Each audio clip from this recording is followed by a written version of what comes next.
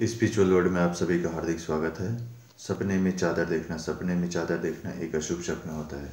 हमें सपने क्यों आते हैं, इसके पीछे कारण होता है। हमारा जो शरीर होता है, पंच महाभूत तत्व क्षिति जल, पावक, गगन, समीरा से मिलकर बना हुआ होता है। और इसे ही प्राण शक्ति बोलते हैं। प्राण शक्ति के ऊपर में आत्मा का वास होता है। जब हम निद्रावस्था में होते हैं तो हमारा शरीर सो जाता है, परंतु हमारी आत्मा जागृत अवस्था में होती है। और हमारी आत्मा के कारण हमारी जो बुद्धि, जो तीन तरह की होती है, चेतन अवचेतन अधिचेतन जो हमारे द्वारा भूतकाल में किए गए कार्य और वर्तमान काल में हम जो कार्य कर रहे हैं, उसको जोड़कर एक समुचित फल, स्वप्न फल के माध्यम से बताने की कोशिश करती है। यह संकेत देती है कि आने वाला भविष्य हमारा कैसा होगा। अगर हम अच्छे कार्य करते हैं तो अच्छे स्वप्न फल आते हैं और बुरे कार्य करते हैं तो बुरे स्वप्न फल आते हैं।